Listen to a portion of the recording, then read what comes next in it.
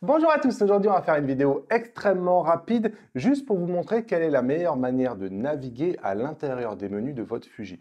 Alors ici je vous fais la démonstration sur la base d'un XT3 mais l'astuce marche très bien aussi sur l'ancienne génération des Fuji. Alors la, chose que je vois le plus souvent lorsque je vous vois manipuler vos Fuji, c'est ça.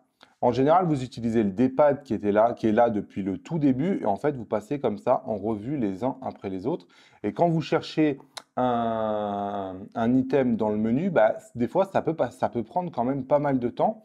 Et je vois, hop, comme ça, passer les pages après les pages. Et en fait, il faut savoir que le menu est fait pour être utilisé de plein de manières différentes. Donc la première et la moins efficace, c'est effectivement cette croix-là. Ensuite, vous avez le joystick qui vous permet de faire la même chose, mais en un peu plus rapide déjà. Mais surtout, la manière la plus efficace d'utiliser le menu, c'est principalement en utilisant la molette avant pour passer les pages et la molette arrière pour passer les items.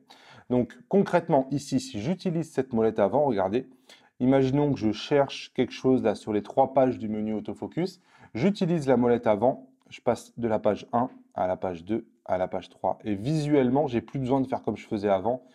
Regardez ici, si je veux passer par exemple aller à la page 3, je vois beaucoup de gens faire ça, passer en revue comme ça. Non, je trouve pas ce que je veux. Ah, mince, je suis arrivé là, je reviens.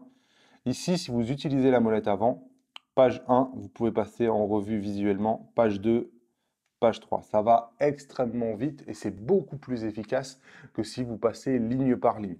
La molette arrière, quant à elle, va vous permettre de passer ligne par ligne. En fait, grosso modo, la croix ici, les touches directionnelles ici, le joystick et la molette arrière, elles ont exactement la même fonction. Vous pouvez prendre indifféremment celui avec lequel vous vous sentez le plus à l'aise. Mais vraiment, celui qui fait vraiment la différence dans l'utilisation de vos menus, c'est la molette avant qui vous permet vraiment de passer page par page et c'est extrêmement efficace.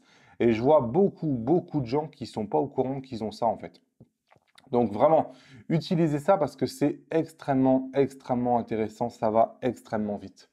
Voilà, c'était une simple astuce que je voulais, partager aujourd'hui avec vous. Comme d'habitude, vous pouvez me lâcher les pouces levés vers le haut si vous appréciez la chaîne.